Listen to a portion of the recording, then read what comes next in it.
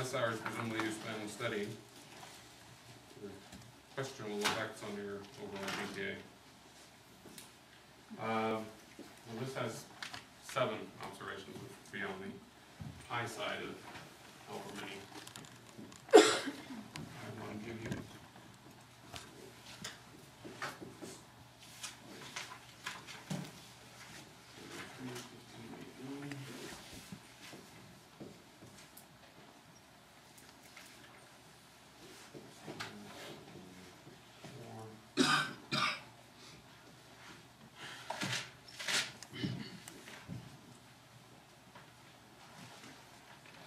Oh, that's, that's sort of already.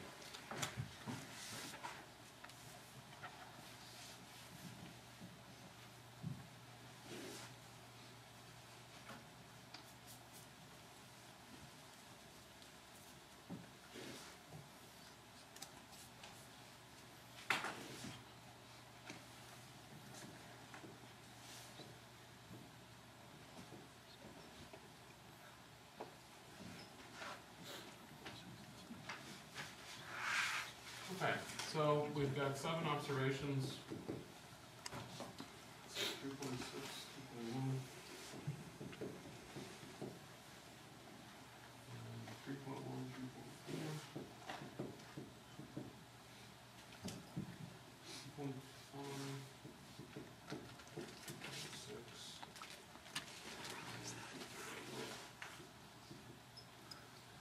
Okay, first thing that's a good idea to do is just to graph this.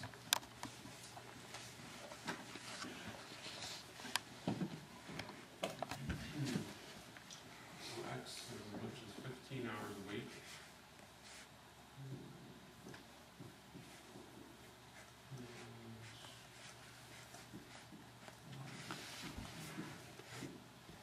So, three ninety-three point six.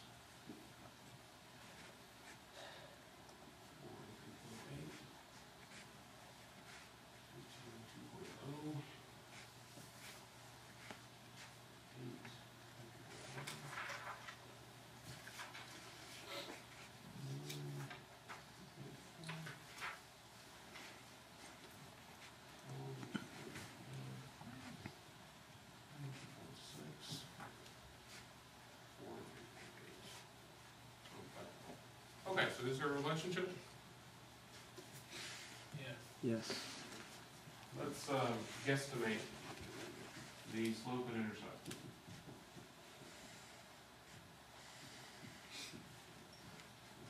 Anybody?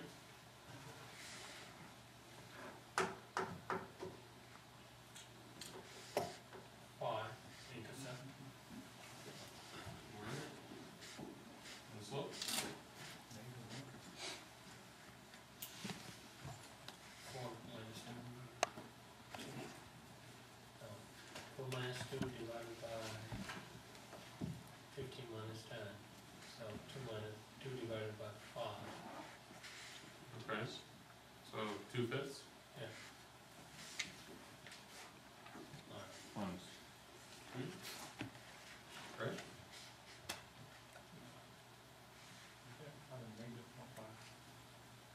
Yeah, you want a negative one, so.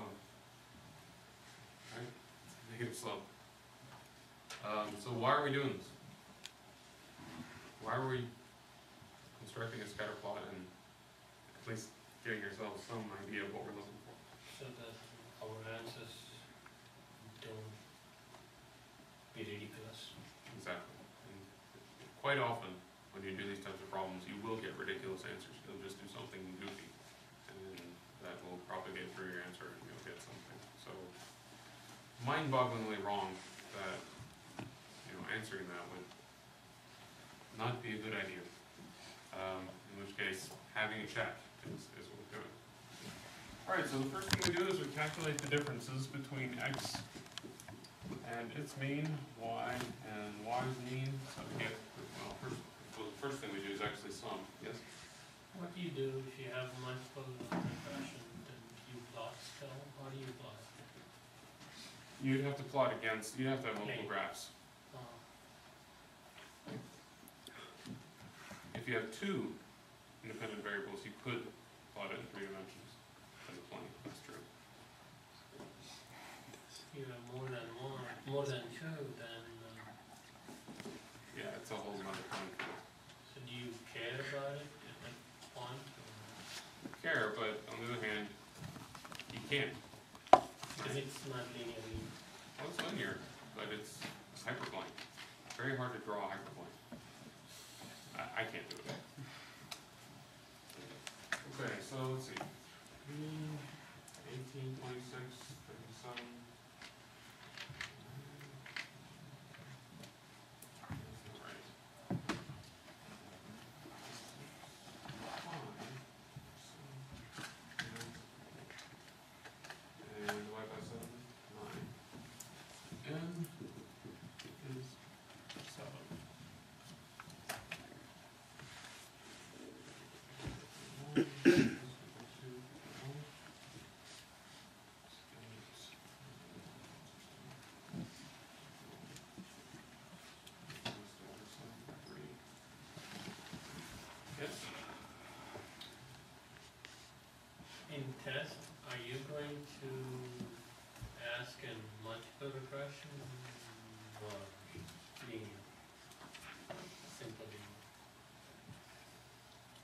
You really didn't expect me to answer that, did you?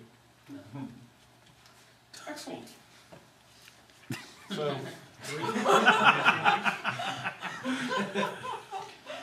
minus 6, 15, minus 9 is 6, 8 minus 9 is minus 1, 0, 3, So good to be on the same playing field. Uh, three point six minus three is, uh, zero point six. Minus one. Zero point one. Four. Zero point five. Minus zero point four. Zero point eight. Alright, now we get to the point where we actually find things we can use.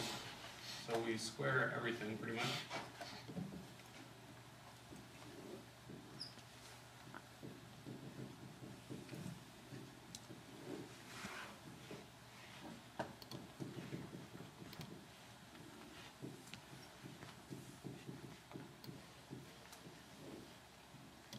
So we get point minus point, uh, sorry, minus 6 squared is 36. And 6 squared is also 36.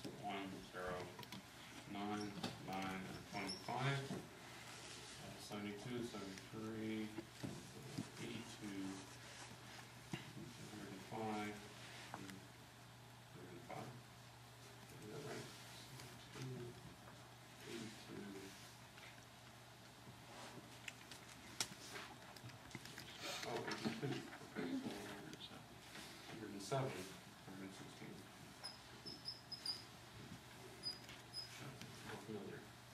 Point six squared is then point three six, minus one squared is one. point oh one, one one six, one five, six, point six four. Hmm.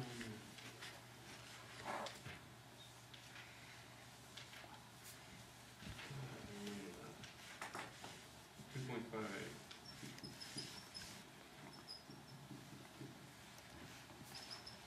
I think that's right. And then finally, we add them, I'm sorry, we multiply them together, so minus six times minus point six is minus three point six. We get minus six, minus zero point one, zero, minus one point five, minus one point two, and minus four point oh. So one point six, nine point seven. Twelve point two, twelve point four, sixteen point four, but negative. Okay, and that is the sum of squared across products. And if you recall, when we calculated, well, slightly my calculate, waved our arms, and found the solution to the minimum of the sum of squared errors, we came up with two equations, right? One for the slope, one for the intercept. The one for the slope is what we calculate first.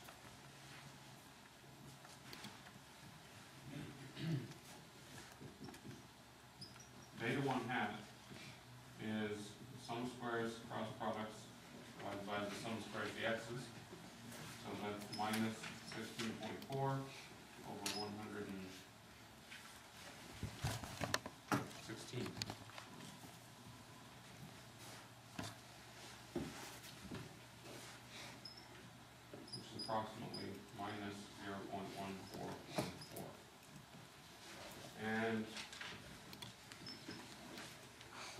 second line. The second, or the second equation comes from knowing that the line passes through a particular point. Is that a and or? It's, it's maybe a hand. The last column in our, in our chart. Yeah. Can you, uh, dig deeper into that? You lost me in the arithmetic.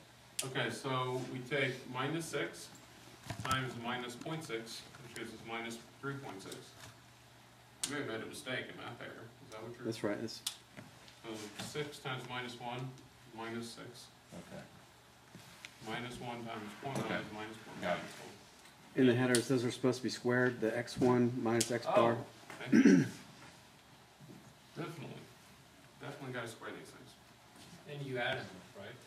and then you add them up,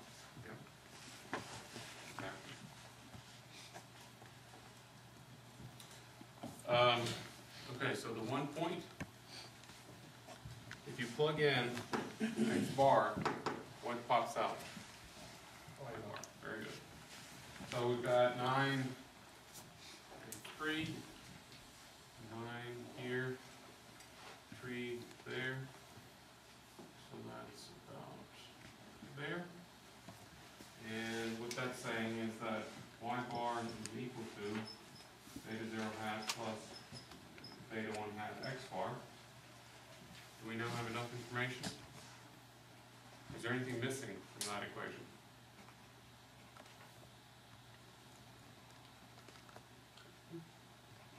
There's one unknown, right? And that's what we're gonna solve for.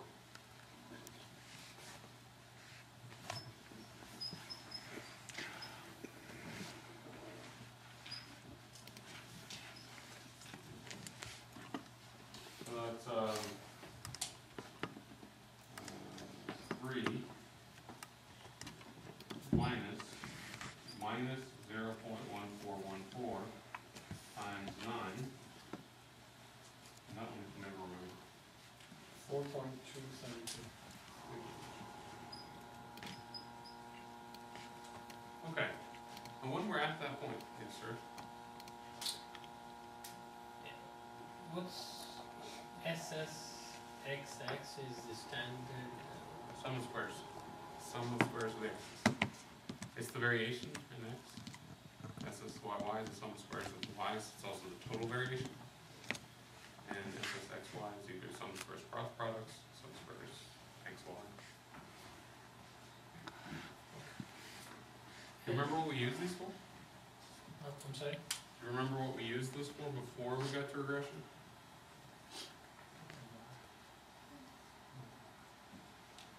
To do total SSD is better. Uh, we didn't do SSE before we got to regression.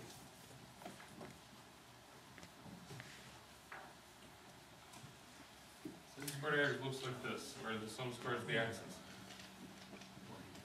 Right. What did we use that for?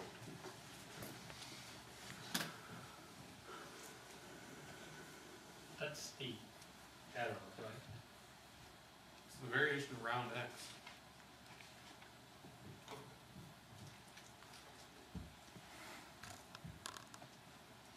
We use this for something quite particular that pretty much we talk about every day. Variation? Variance. Variance. Variance, right, and standard deviation, right? We just divided by n minus one to get the variance of x, sample variance. Um, okay, similarly, and, basically, in many ways, regression is a study of variance, yes? About that question, coming Which back to multiple regression on the test, Uh-huh. it's unfair for you to ask to do multiple regression on test because you didn't show any multiple regression by hand during class, or in the textbook for that matter. Uh, it's not only unfair, it's impossible. And You have to do, uh, you, you have to use linear algebra in order to do that. There will be no progression on the test, but it won't be from scratch. Okay. I didn't realize that's what you were asking. Um, There's no way I, there's no way I'd ask you to do that because you'd never get done. I mean, doing a single problem would take you hours and hours and hours. It would make the, well, the example look puny. Comparison. Um, but this, this is very Um, okay. So we've got the line, right, we've got the estimates. Somehow it's a serious difficulty to get from calculating the estimates to writing down the ordinary least squares line. So again, what is the ordinary least squares line, also called the fitted line, the estimated line, the regression line? What is it? It is four point two seven minus point one four one four X. Very good. And we're gonna label that, what, what is it that we, if we plug in X, we get? White Ah, very good. So is everybody comfortable with that? Now, the data generating process is assumed to be y equal to beta zero plus beta one x plus epsilon. So, the four point two seven is an estimate for beta zero. The minus one, uh, minus point one four one four is an estimate for beta one.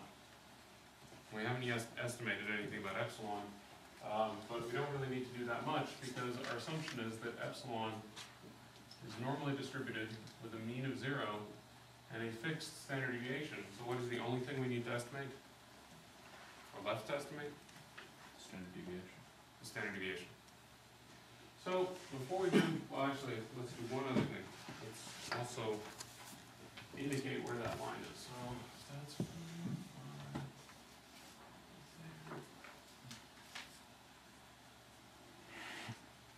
Something like that.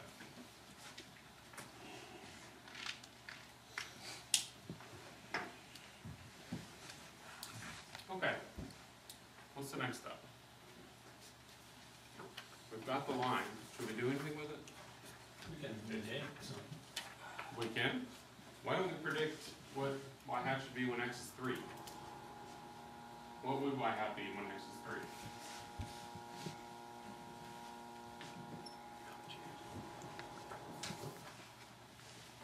So for the first observation, you have 4.27 minus 0.1414 times three, and we're gonna put that right there.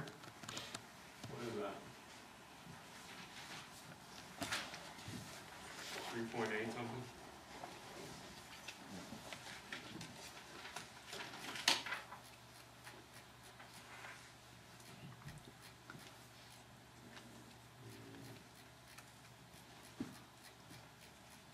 One eight four five, Three point eight four five.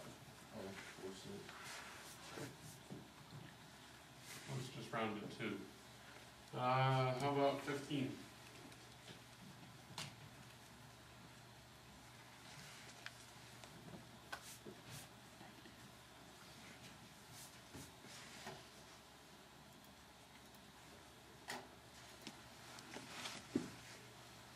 Two point one five, Okay, eight? You're being volunteered.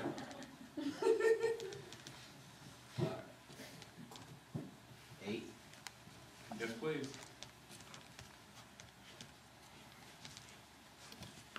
three point one, Alright, that case nine is gonna be three point zero zero. Why is that?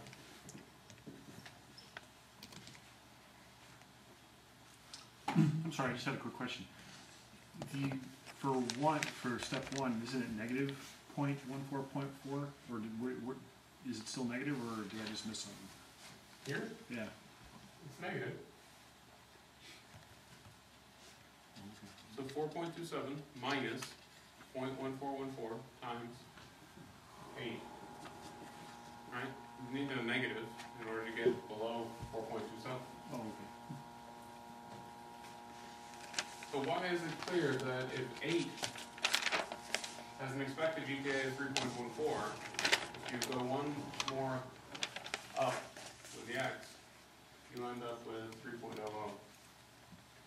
Well, it's, it's indicating, indicating, but it's a difference. You know, the line straight, it's a straight line, right? So how do you know that the, It, change. Its slope is 0.14 Right, per unit of X. right. Slope is negative point one four, so you increase x by one, you will decrease y hat by the slope.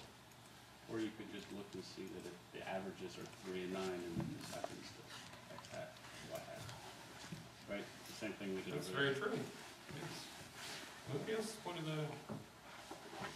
Very good. Twelve, Twelve Back is to two work. point five seven. what's that? Two point five seven. Two point five seven, okay. And then magically, it's the same thing again. And four, Three point seven.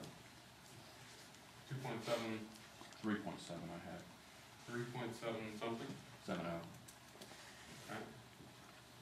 Alright, with this one, we don't really do much, we just use that to get to the residual.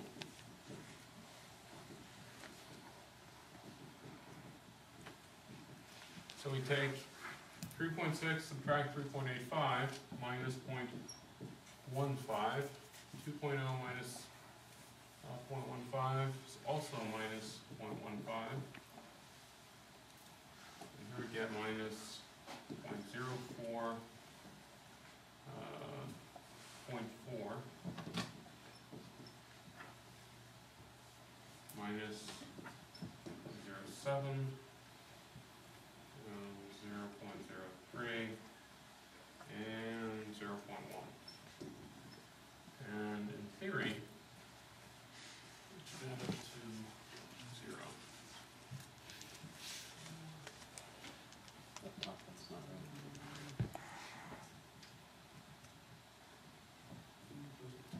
one's not right. Top one's not right? Oh, it's two five. Thank you. Is that right? Actually, four cancels out that one. Well, Two rounding is what we're gonna declare there. So then we square. And then we're gonna need more calcul- calculator help.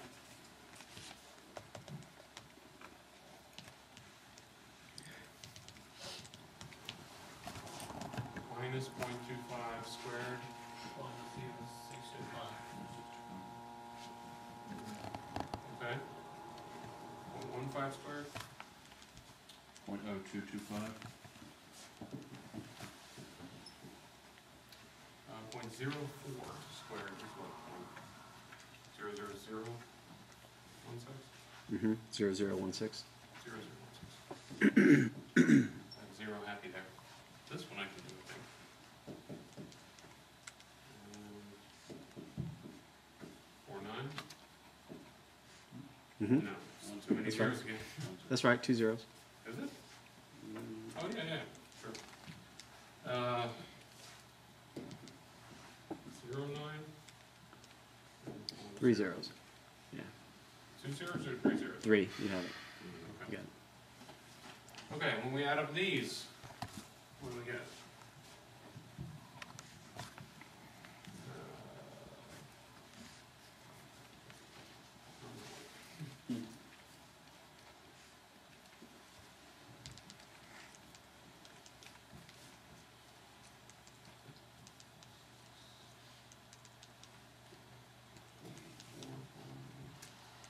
And two six, two four. Okay.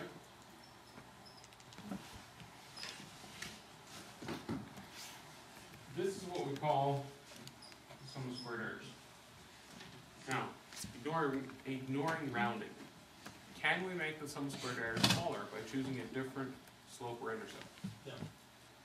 Very good. You remember that? And that's the minimum you're trying to get. Very good. That is in fact the minimum we're trying to get. So that's point one. The second question is, well, what can we do with the sum of squared errors?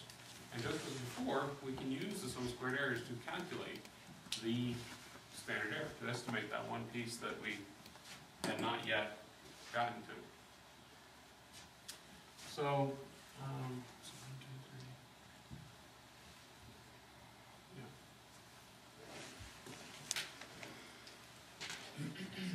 so the mean square error is the sum of squared errors divided by the degrees of freedom for theirs, we start out with seven, n, n equals seven, and we lose how many degrees of freedom? We have to estimate how many things in order to get a straight line?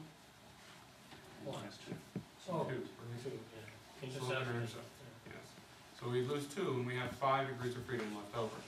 So this is zero point two six two four divided by seven minus two. So that's five, so this should be zero point zero five.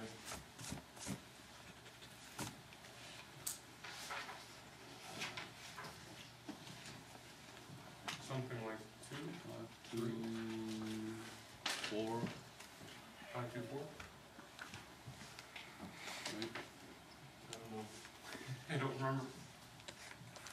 Five, two, three. Okay, well, we're- we're good with that. And S then is the square root of the mean square error, which is what?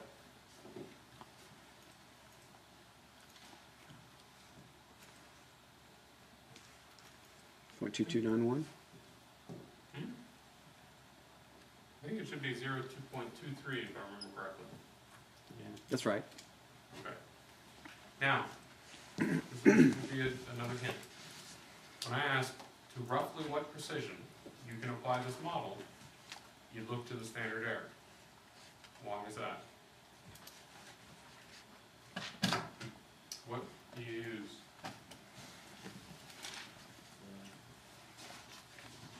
We need, hold on, I missed the part where we did the R squared. We haven't done that I mean, or don't we do the R squared? yet. We. We haven't done it yet. Does that tell you what position it is, what position it has? R squared? R squared tells you the, it's an estimate of the, um, variation in y that you can account for using x. So, to some extent, I can see the confusion, but the, the code phrase, with roughly with precision, is really saying, okay, if you apply this model, how close are you gonna be most of the time? And R squared doesn't really answer that question. It's talking about the empirical rules. Oh, Exactly. And so we want ninety-five percent of the observations to be within some buffer. A little louder. Two standard deviations. So two standard deviations here is two times zero point two three or zero point two six. Zero, I'm sorry, zero point four six. Zero point four six watts. What are the units?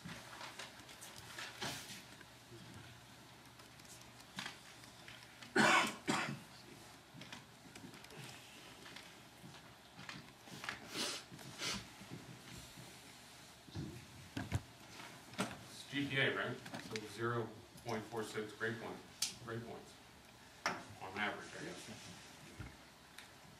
Um, and basically what that's saying is that if you apply this model, you, and you tell somebody what their GPA is gonna be based on the number of hours they spend in the doghouse, then if you put a band plus or 0.46, 95% of the people you apply this to will get a GPA within that band. Roughly, it's very rough. So, it's a quick and dirty way to make a prediction. Um, and hence it's also quite surprisingly useful. So that's plus or 0.46, right? Well, 2s is plus, is 0.46, but yes, you're right, we do need. I should just make that a whole line.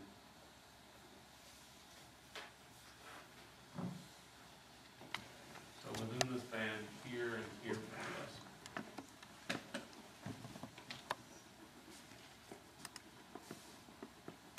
Maybe I should have chosen a different color. Um, this is Y hat.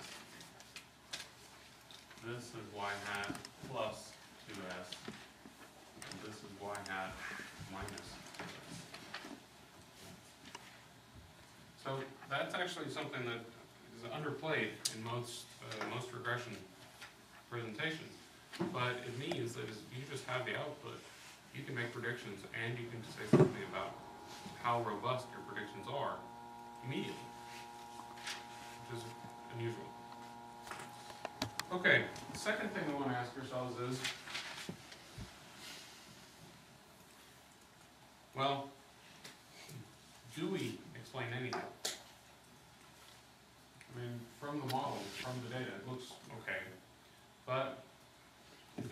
test whether or not there's any relationship between X and Y, what statement about the parameters can we test?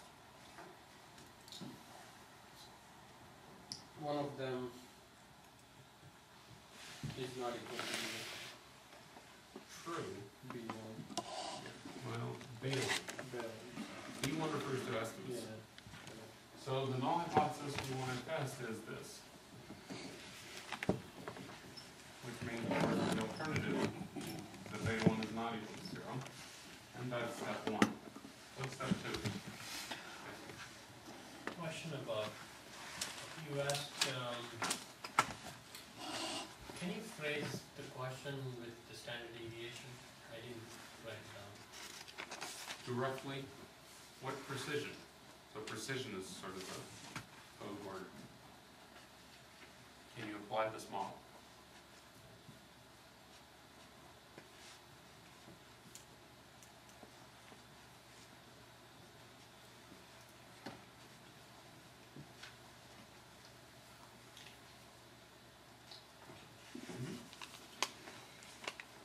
Okay, um, so, next step.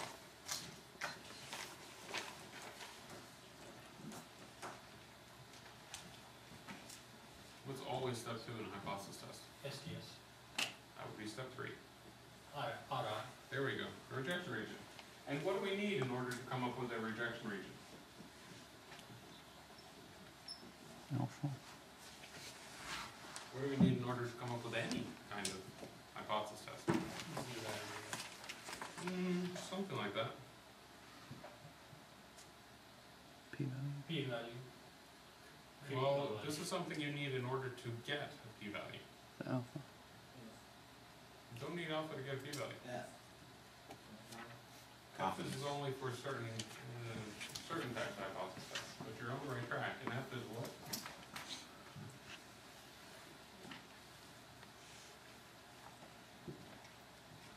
It's gonna Confidence level. Don't need that, not yet. So basic that when I say it, it's gonna seem obvious, you know, duh, sort of things, but it's important to come up with it, because if you don't, um, it's still gonna seem like black magic. Mean value. Mean is That's zero. part of it, yes, mean zero, good. Zero, so how far are you away from that? Exactly, and in order to say something about how surprised you are by the distance away from that you are, you need. You need, Two. but in general. So we've got F, we've got T, what are those examples of? Not intervals, but if you need something that will tell you roughly how surprised you should be, Margin of error. we'll, we'll, we're going to get a margin of error from this type, this animal, yes, In range. okay? But, Confidence interval. You estimate, what's that? you estimate. Yes, we will need an estimate, but we need something that tells us something about the estimate, how surprised we are by the estimate. If I just throw out the number, Oh, standard error, closer, Variance? standard deviation. it's like literally the elephant in the room. Um, A line, what's that? a line. A line, well, a line would be good. But let me do this, I'll throw out a number, four million, eight hundred and seventy-two thousand, nine hundred and twenty-two. Are you surprised? No, Why not? this is just number. That's right. Sensitive test statistic. What would you need in order to be surprised? Mu, Another. Mu, okay, and, standard deviation or standard error. okay, very good. So if you have mu and you have the standard deviation, you're nearly there. Z score, Mu and standard deviation are parts of this animal, the elephant in the room. Oh, the distribution. See, I told you. The what? Just a moment. You have to have a probability distribution. Right? I know it seems obvious, but in retrospect, but if you don't have that, you cannot move forward. And there will be situations where you will not have a probability distribution. You won't know what to do, or you won't know how to find one. There won't be any fixed way to, uh, come up with one. So, make sure that that's the first stop on your train of thought. make sure you have a probability distribution. And now, Dave, what kind of a probability distribution are we dealing with? Um, T, Very good. With how many degrees of freedom? uh, five. Excellent. And if you're not told anything else, what significance level shall we use? Ninety-five percent. That would be the confidence level. Point zero five. With zero five, right. Okay, so the distribution looks like this. And it is in fact T-distributed with five degrees of freedom. We're gonna have a five percent alpha.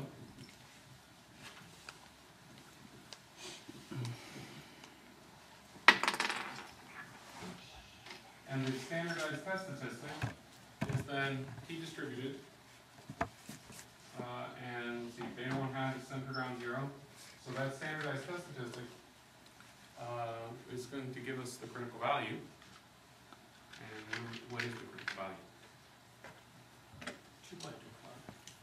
Just, Two point six. No and no. One point nine six would be for Z, right? So you know it's a number larger than that, because it's is T-distributed. So two point five six. Close. How do you find the critical value? Just tell me, sort of in theory, how you do it. Ten, Okay, what do you look up in the table? In which table? uh, T Two dash. point seven. What's that? Two point five seven, Two point five seven, yes. So what did you look up? T distribution. And in the T distribution, you looked up. I have to make sure, because this is the type of error that's just sort of unnecessary. Point zero two five and the degrees of And the freedom. affinity, the point three zero five. Oh, Not infinity, infinity is zero. zero point, yeah, exactly. You look, did look up zero point zero two five, right? And then which row? Degrees of freedom. Five? Five, right? Five degrees of freedom. And so the critical value is, Two point five seven. right. Everybody happy with that? Okay. So the critical value is two point five seven. And so the rejection region is everything below minus two point five seven union two point five seven How'd you get the degrees of freedom from being five and minus two. and minus two?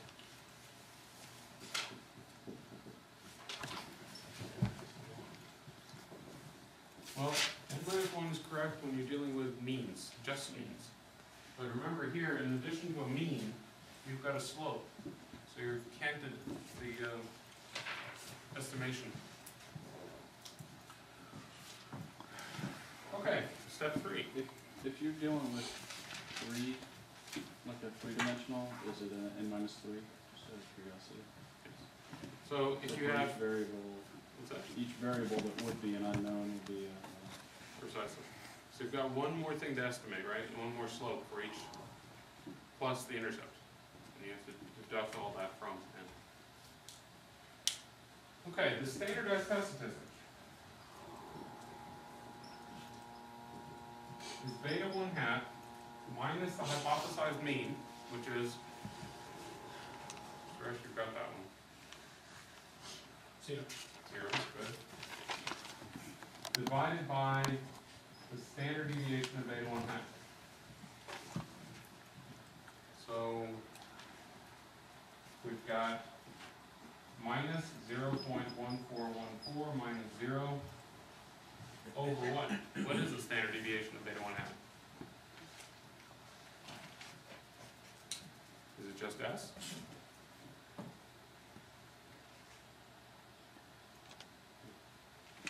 It's related to S. Remember we had, when we were dealing with just means, we had S versus S out of n, right? Slightly, slightly different now, just S over the square root of far as the x's.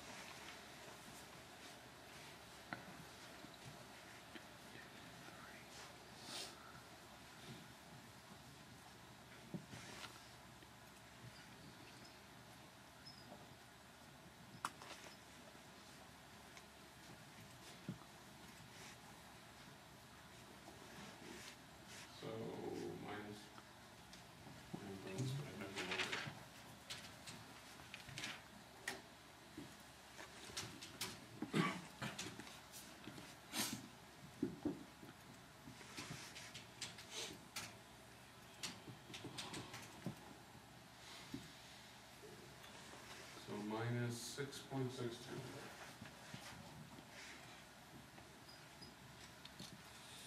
Is that in the rejection region? Yes, minus six is certainly roughly here, definitely in the rejection region. So the last step, standardized statistic is in the rejection region, and we reject the null and conclude that our model explains more than nothing. This would be cause for celebration. How much more than nothing? Alan, this would be what you were asking. How do we answer the question, how much more than nothing?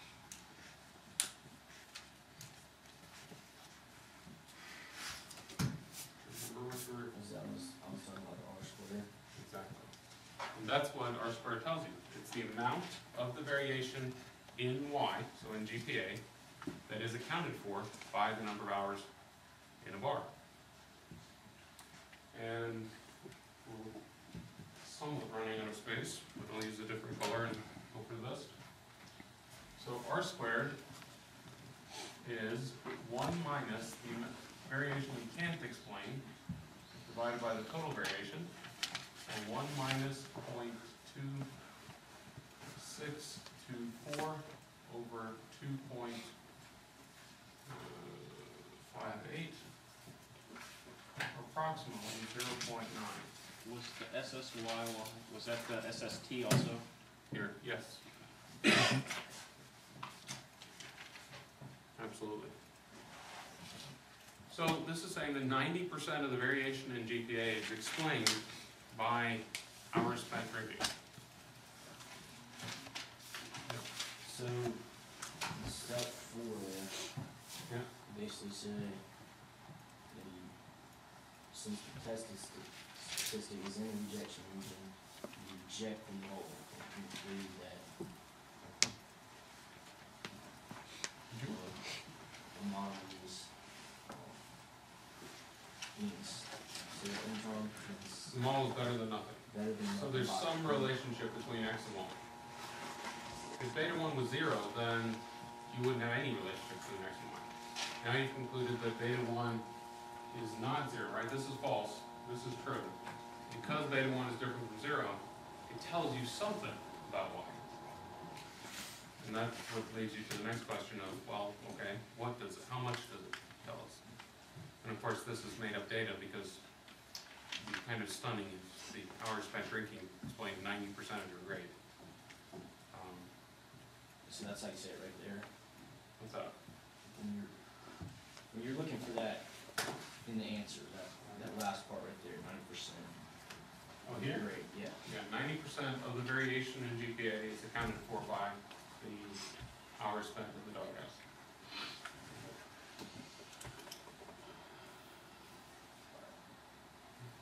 So after you state that conclusion, you follow it up with R squared. Exactly. Exactly. And then you can also do things like, uh, for interpretation purposes, if I asked you, what is the interpretation of the intercept? Frankly, you could say, well, it's the, what the model tells you is you spend no hours in the bar. But strictly speaking, for the purpose of this class, I would prefer that you not extrapolate at all because you don't have any data down there. In this example, everybody spends time in the bar, so you don't, just don't know. So in a exam environment, Just say would that either the, of those answers, or would you prefer us to say we can't extrapolate? prefer that you say you cannot extrapolate, because that way I know that you're aware of the problem. And, uh, you know, in real life, obviously, you use your common sense and apply the model with, it to where you think you can. Um, But the problem is almost always in reining in over exuberant use or regression where it's not um, applicable. Um, So it's better to sort of focus on that aspect, in my opinion. But if we said something like, okay, what is um, the predicted value of Y, predicted GPA, if you spend five hours drinking? well, five, you don't have any particular five, but it's certainly within the range for your data. So that's a valid question, and that you can just simply plug in. So y hat, if x is equal to five, is just four point two seven minus point one four one four times five, and that's, uh, seven, three point five seven. Nothing wrong with that. And that's something you can apply the empirical rule to, plus or minus point four six. Um, You're, you're guesstimating that ninety-five percent of observations will fall within three point five seven plus or minus two s. And the, the last part of the example that's posted is an answer to how to do that formally with, uh, prediction rules. And I'll ask that you interpret that, but not, but, but not plug into the formula. It's not that it's all that hard, it's just that once you get into multiple regression, you have to use software anyway. So there's a limited value to it. Other questions? In the, in the solution, we had an interpretation that, um, we decrease the sum of the spread prediction errors eighty-nine point eight seven percent by using the estimated model, model to predict GPA rather than using the sample mean GPA. What is that? Well, okay, so one thing you could do is just use the sample mean, the three.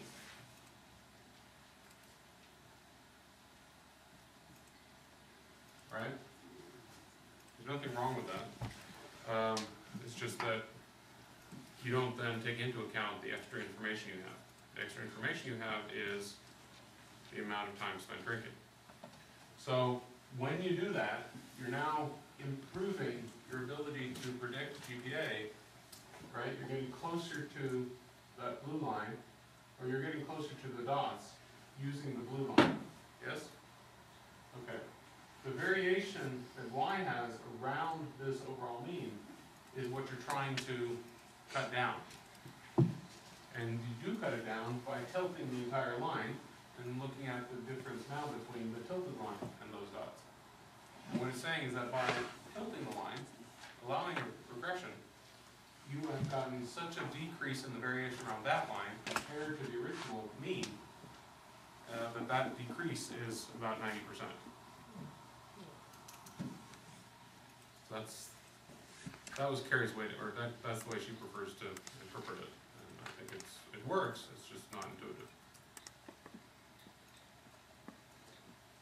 Other questions? All right, in that case, I think, oh, well, So, for project purposes, is there any? well, let, let's do project after the break. Um, we will get to it. But I'd prefer that we sort of get done with, before I forget, because I really would do want to have Bob give you the evals. You do the evals, then when he tells me you're done, the break will start, we'll take a break, and then we'll come back and begin with other questions.